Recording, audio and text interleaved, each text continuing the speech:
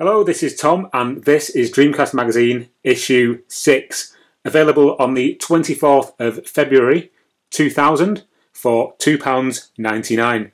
Uh, the front cover has a, nice spread of uh, V Rally 2 and Tomb Raider The Last Revelation, and a little hint here to, as to another feature in the magazine, which is a, a racing feature, about, obviously about racing games. So let's move into the magazine itself. As ever, we have the uh, editorial from the editor Simon Phillips and uh, contents page. Here we have a continued contents page with a nice picture there of uh, Raziel from the Soul Reaver game. Okay, this particular issue of the magazine does have some quite good features of uh, unreleased games. Um, this is a, is Picassio. This is a game that was coming from Promethean Designs. We have covered this on the Dreamcast Junkyard quite a few times, and also spoken about it on the podcast. Um, but basically, what this game was was a cat burglar simulator where you would take on the, the role of this particular black clad figure here, and then um, sneak into art galleries and museums and steal uh, works of art, paintings, that kind of thing, and uh, it did look quite like quite a promising game. Uh, there was no real footage of the game running released, just these kind of like pre-renders and uh, some really quite bad uh, facial artwork sort of down here. Interestingly, if you do go on the Wayback Machine and look for the Promethean Designs website, uh, you can actually find uh, you know the, the, the promotional artwork on that site uh, it's not the first time I mentioned Promethean Designs in this particular video. There's some more coming up in a bit. But yeah, this is uh, like a nice little spread here that tells you about, about the game that we never saw. Moving on, uh, we have some news items here. Uh, we've got one here about uh, King of Fighters 95, sorry, King of Fighters 99 even, not coming to the to European Dreamcasts. It's interesting that none of the King of Fighters games actually came out in in PAL format, to be honest, um, because they are you know quite highly uh, regarded on the uh, on the Dreamcast. You know, certainly in the 2D fighting genre, that we never got any of the SNK uh, fighters really. Um, here's uh, a thing about obviously when this magazine came out, Lara Croft was quite a big deal, and um, you know obviously she or the character is now as well with the new reboot of Tomb Raider, but back then this was like the original run of Tomb Raider games, and uh, Tomb Raider: The Last Revelation, as detailed on the cover, was about to come out on the Dreamcast. So quite a lot of uh, Dreamcast related Lara Croft tie-ins. Uh, bit here about the, um, the, the film The Spy Who Shagged Me with uh, you know Austin Powers, uh, kind of promotion promotional rubbish really. Uh, more here about the um, game Nightmare Creatures 2, which is absolutely terrible. If you want to see how bad Dreamcast games can get, or rather PS1 ports to the Dreamcast, check out Nightmare Creatures 2 because it is terrible. Anyway, moving on. Uh, now, I don't know if you can see this very well on the video, but this is quite easily the worst uh, Sonic the Hedgehog model I think I've ever seen. It looks nothing like Sonic. It, it's a bad approximation of what Sonic possibly looks like in 3D. I, horrendous. But this is just, um, as Dreamcast Magazine went on to do, head into an arcade and show some more arcade games. It's got nothing to do with the Dreamcast. It's just filler. And over here we have a bit about Sword of the Berserk and another bit here about Climax, the design house, uh, the developer making games for the Dreamcast. Um, yeah, so uh, quick look down here. We've got the uh, the release schedules. I'm just seeing if there's anything on here. Uh, Arc of Terror is on there for the PAL UK release schedule. That obviously never came out. Uh, pretty much everything else on there did actually make an appearance at some point. Furballs, its name was changed to Fur Fighters. Uh, yeah, there's nothing really on there that screams. Uh, let me see. No, no, pretty much. Oh, Dark Angel, that never came out, did it? Anyway, moving on. Get here about Quake III Arena coming to the Dreamcast. Obviously, at this point, it wasn't out yet, so this was just kind of like a, a forward looking feature um, some PC to Dreamcast conversions that they were looking forward to, Baldur's Gate and Evolva.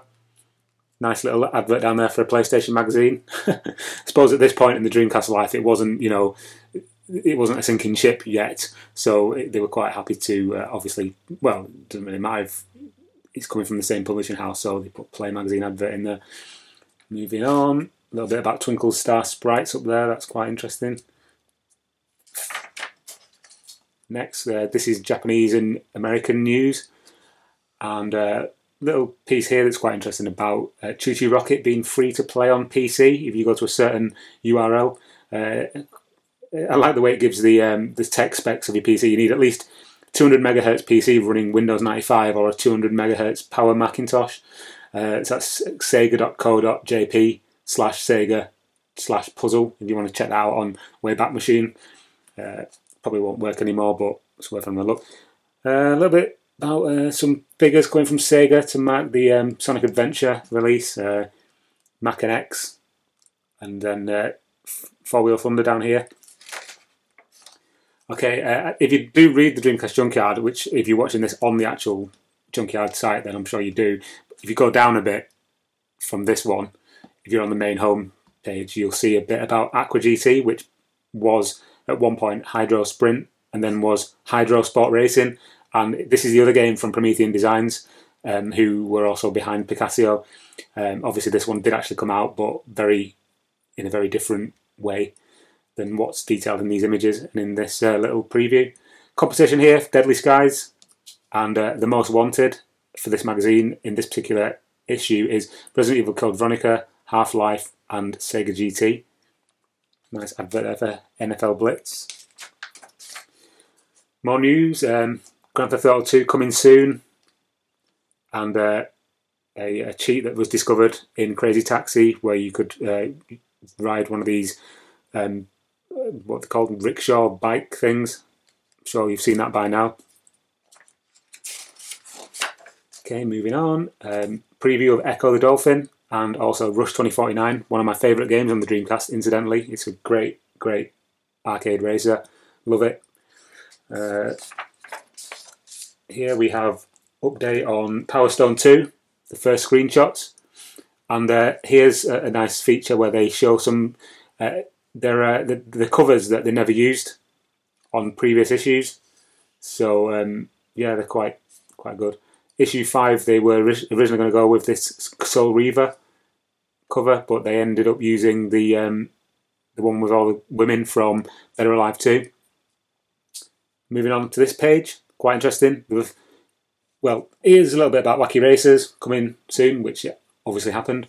Now this one, Drones or Drones, however you want to pronounce it, um, was a really early uh, game released for the. Um, sorry, details were released for the Dreamcast very early on, and it never actually came out. It did come out for PC as a like a tech demo for GeForce or Nvidia graphics cards, and also for the Xbox, the original Xbox, um, as a Japanese exclusive. I've personally never played it. I don't own a Japanese Dream uh, Japanese Xbox, so I can't play it. But um, yeah, if you've played it, then by all means, you know, let us know in the comments or anything what it's like. Um, and also Felony Pursuit, another one that we've featured a couple of times on the website and on this series of videos. Um, so yeah, that, that one actually did come out on the PC if I'm not mistaken. I might be mistaken. If I am, then please tell me. Preferably in all capitals in the uh, in the comment section. Or oh, incidentally, somebody what somebody called me a retard on one of my videos the other day because I yeah, that was it. The the, the DreamCon video. If, if that's you, then uh, cheers for that. That was that was really nice of you. Moving on, uh, Shenmue, another update. Just uh, a bit of a blurb about you know more features being released about the game, and then some stuff here about LucasArts about the games that they were going to be releasing for the Dreamcast. And so we've got some things here like uh, Force Commander and uh, Indiana Jones Jedi Power Battles, which did come out, and Obi Wan, which was a game for the Xbox. It was actually one of the first games I actually owned for the Xbox when I first got mine. The one with, um, yeah, with Ewan McGregor as Obi Wan Kenobi. Uh, was all right, I suppose. Next, moving on, preview here of Tomb Raider: The Last Revelation. I'm not a big fan of Tomb Raider, to be honest. So I thought the Last Revelation on the Dreamcast was just a really sloppy, like port, really. Yeah, it's basically the same as a PlayStation game with slightly tied up visuals. That's about it. I'm not really a big fan. So moving on, MDK2. This is one of the better uh, sort of third person action adventure games. It's really, really difficult uh, though, so bear that in mind if you do pick it up. Um, but yeah, it's really good fun, looks great, and uh, yeah, plays really well. So yeah, MDK 2. That's that Soul Fighter advert again, made up of all different images from Soul Fighter screenshots, which is quite cool, really. Probably the best thing about that game. Now, here's a nice, interesting uh, preview of Half Life, and the reason I find it interesting is because this artwork, I'm not entirely sure if it's done by the art team from the magazine or what, but I've never seen this before. I've only ever seen it in this magazine. Certainly, this particular Gordon Freeman artwork here, I've never seen before. So that's quite interesting. Again, we've got this uh, image of a scientist here with a, with a face hugger or a head crab attached to his face, which I've never seen before. So that's quite good. And uh, yeah, lots of screenshots of the Dreamcast version of, uh, of Half-Life, which obviously didn't come out in an official capacity, but uh, has been leaked and can be played quite easily if you uh, if you know where to go and get the uh, the ROM or the ISO, if you want to call it. Next, uh, Daytona USA 2. Obviously, at this point, uh, Daytona USA 2001 hadn't been announced and wasn't really even in people's minds. But uh, people were, you know, looking forward to maybe seeing a Daytona USA 2 conversion for the Dreamcast, which, in my opinion, probably would have been a better thing than having Daytona 2001 because it just, I mean, I've never actually played it, so I'm probably just talking rubbish there, but it looked like a better game. Anyway, advert left Crazy Taxi, twenty nine forty nine, bargain. Now this is the thing I was talking about from the front cover. This is a like a brief history of racing games or Sega racing games. So it's not particularly Dreamcast orientated, but it then goes on to detail some upcoming Dreamcast racing games. So we'll just quickly whiz through that. You've got like, yeah, you've got Outrun, Sega Rally, Ferrari, and Virtua Racing. And then a little bit about some different, like unusual arcade cabs down here. You've got Final Furlong, Armadillo Racing, and Marble Madness, which isn't a racing game, but you know. So then we get on to the previews of some upcoming Dreamcast games and uh, V Rally 2, which is a pretty good PlayStation conversion. Uh, Sega GT and Stunt GP. Again, that's a PAL exclusive and it's worth picking up if you can find it because it's really good. Ferrari F355, Metropolis Street Racer, and here we have Midnight GT, the game that is, uh, you know, one of the ones that I'm still trying to find more information on and see if it. I, did come out on the PC, but it was only like a tech, uh, like a tech demo type thing, as far as I know.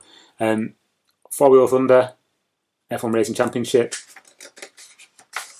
and then we're on to the review section. So let's crack on with these. Soul Reaver, again, one of the better PlayStation conversions for the, the Dreamcast. It's a really good adventure game, actually, and one that I would wholeheartedly recommend. Some great biblical names as well on the uh, on the bosses. You know, things like Ezekiel and that kind of thing. If you are called Ezekiel and you're watching this, then uh, I'm not trying to make out you've got like an old school name, but it's quite cool. uh, so that got 90%.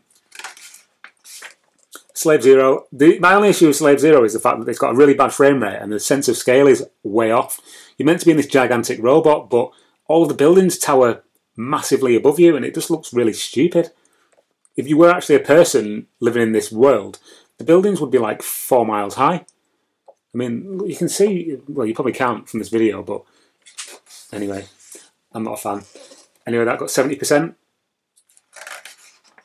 Moving on, NBA 2K. It's a great looking game, it's a great sounding game. I'm just not really much of a fan of NBA or basketball in general, to be honest. Uh, it's not that big a sport in the UK. Obviously, I know in America people go mad for it all the time. But um, yeah, that got 89% because it is a, a, quality game, you know, if you like that kind of sport as far as American sports go, the probably the only one I'm actually really interested in is ice hockey. And luckily, the, the ice hockey games on the Dreamcast, the, the NHL games, are really good. So that's uh, cool. Deadly Skies, which is basically just Air Force Delta, but with a new name for the PAL uh, regions for some reason.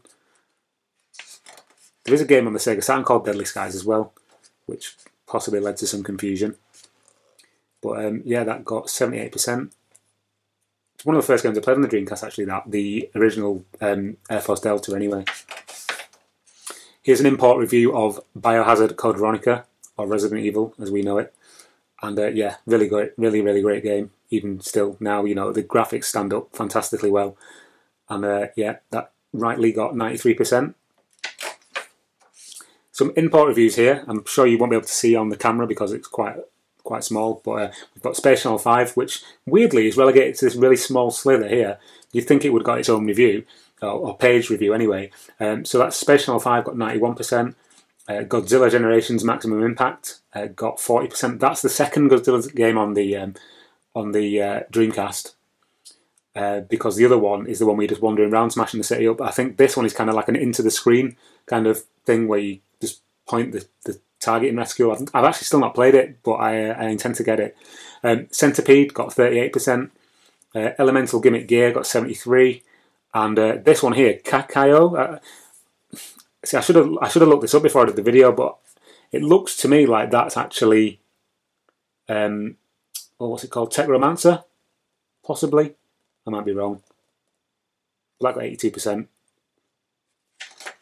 Moving on, got Dreamcast Solutions. Uh, don't want to spend too long on these. Crazy Taxi guide. Why you need a guide to uh, Crazy Taxi, I'm not entirely sure but they thought it was a good idea. Somebody must have gone through the game and written down every single customer and where they want to go. That must have been a very tedious job to do. And then a, a breakdown of the different crazy box modes. Big advert for gameplay.com there. And more of these uh, the new dream the new website for Dreamcasters, dreamonbabe.com might be worth checking out, see if it's still online, or at least going to the again the Wayback Machine and seeing what what that's all about. I might actually do that in a bit because that looks uh, terrible. Apologies if you did actually own DreamOnBabe.com. Um, actually, no, I'm not sorry at all. Moving on, Interact. I love these telegames actually, these telegames adverts here because you can see how cheap Atari Jaguars and Lynxes were back then. Here you go. You can get an Atari, sorry, an Atari Jaguar and a CD unit uh, with five free games for £75. Oh no, for £125. That's both for the console and the CD unit. I've got one over here actually. This is one I made earlier. So you could have uh, you could have had one of them for £125. It'll probably set you back triple that now. Anyway, moving on. Interact. Letters. Next page. Uh, reader reviews, we've got uh, Soul Calibur 96%, Virtual Fighter 3 TB 40%, somebody didn't like that, F1 World Grand Prix 91, and Fighting Force 2 20%. Might be a bit harsh that, it's not the best game ever on the Dreamcast, but it's, uh, it's quite playable I would imagine. Well, I would say. More about cars here, it's quite car heavy this issue. Uh, and then some other websites there about Tomb Raider and HR Giger and, uh, and Top Gun, weirdly. Okay, best Dreamcast cars. Kind of scraping the barrel a bit on the old features front, but uh, yeah, you got Toyota Celica there at number one. Can't argue with that. You got Fat Slug from uh, Revolt at number two. Yeah, moving on, I think. And then we've got the directory, which is where they list all the different Dreamcast games and colour code them depending on what genre they are. I quite like the reviews at the side, like the DVD reviews and the music reviews, because they're quite indicative of the of the era. So you've got like the X Files movie down there, four out of five. There is a new X Files movie coming out actually quite soon, I believe. Um, here we've got what we've got CD reviews, uh, Enigma, The Screen Behind the Mirror, the Beach soundtrack with uh, old DiCaprio. It's quite interesting that he's still actually like a massive film star, even though he was making stuff like The Beach, which was massive back then, and now he's in The Revenant, which is you know getting a lot of uh, good reviews and stuff. Let's bend that down a bit. Right, this is quite cool because this section is where they have gadgets and things from the era. So it's really it's just interesting to look back at things that they thought were brilliant then, and uh, you know, for all intents and purposes, were you know, we'll probably look back on iPod iPads and stuff in in another ten years and think, oh my god, how crap was that? But um, yeah, look at this MP3 player. It's two hundred and thirty pounds, and uh, yeah, it can hold five hundred tracks. Yeah, um, you've got Nautilus speakers. Look at that! It's hideous. It's meant to look like an inside of an ear, um, and it costs thirty-five thousand pounds.